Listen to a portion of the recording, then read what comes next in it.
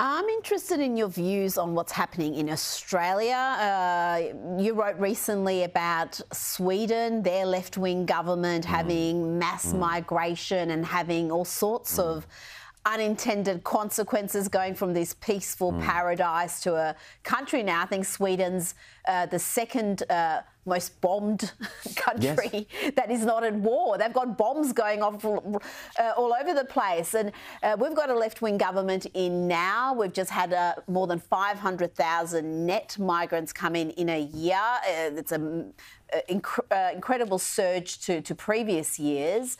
Uh, what do we need to be mindful of, and what lessons are there from, from Sweden, which really had an open border policy different to what we've seen in Australia?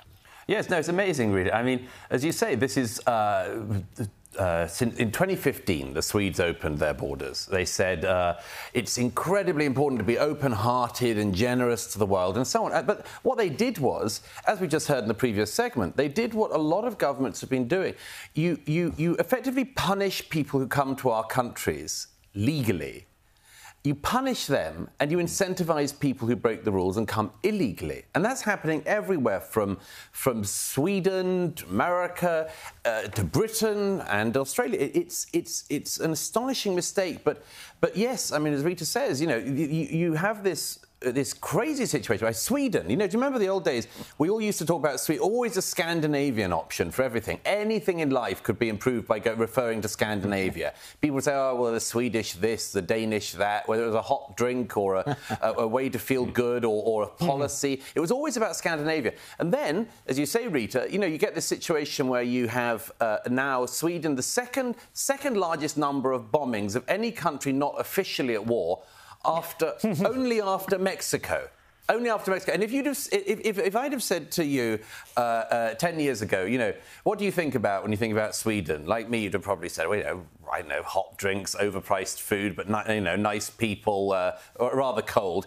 You wouldn't have said, oh, grenade attacks. Mm. You know, yeah. the traditional Swedish grenade attack. Uh, never forget the, the, intrinsic importance to our culture of grenades.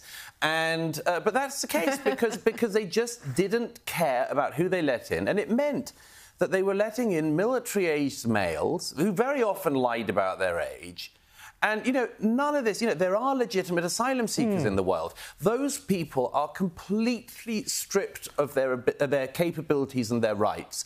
When you allow, as I've seen this in Sweden myself, you know, big bearded guys in their 20s who say, oh, I'm a child migrant, you know, allowed into a school and so on, and they just lose control of everything.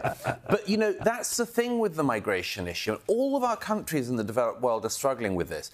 There are millions upon millions of people in the the world who want to come to, to relatively safe, liberal, democratic countries like this one, like Britain, like America, and like European countries. And the question is well, are we able to step up to that challenge and actually bring in people at a reasonable rate, or is that too difficult for our politicians?